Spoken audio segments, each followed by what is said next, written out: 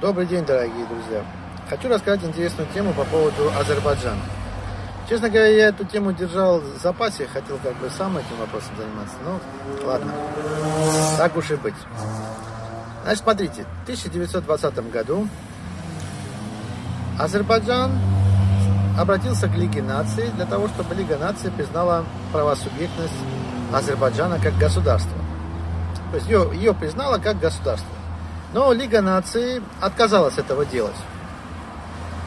И э, только в 1924 году, после переговоров с Великобританией, когда согласовали, что Великобритания будет получать 20% нефти Азербайджана, только после этого незаконно правосубъектность Азербайджана, Турции, Советского Союза была признана. Так вот, очень интересная тема. Дело в том, что в 1991 году конституционным актом номер 222 18 октября Азербайджан признал себя правоприемником первой Азербайджанской республики 1918 года.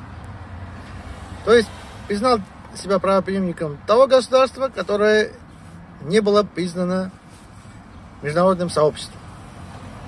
Значит, что нужно сделать?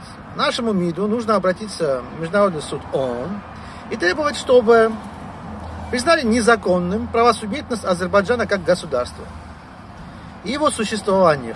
И это сразу приведет к тому, что все сделки международные, в том числе по продаже нефти и газа, одномоментно прекратятся. Это создаст такой коллапс для Азербайджана, что они очень долгое время ничего не смогут сделать с этим вообще. Спасибо за внимание.